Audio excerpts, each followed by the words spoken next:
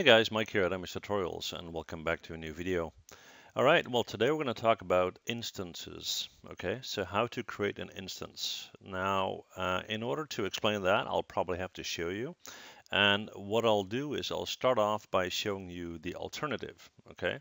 So let's say we have a basic cube right here.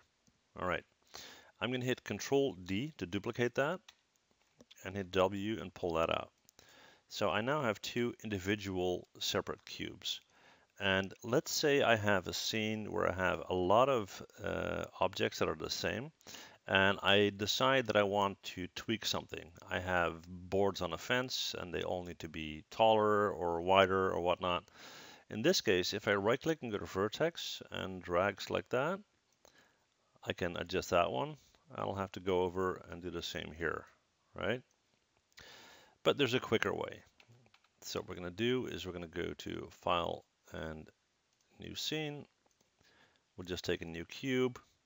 And instead of duplicating it, we're going to select our cube. We're going to go to Edit, Duplicate Special, hit the option box.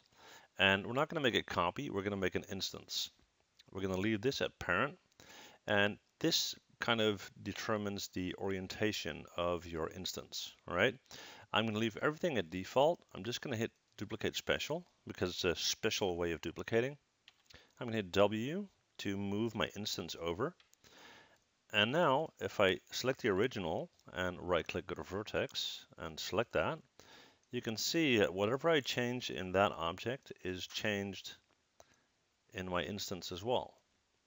Now, why would that be helpful? Like I said, Let's say you have a number of trees that you have created and you want them all to be taller or you want them to bend over in one direction because of wind direction or whatnot. So it's just a quicker way to work, all right? That's all there is to it. So if you got any questions, let me know, and thank you guys for watching.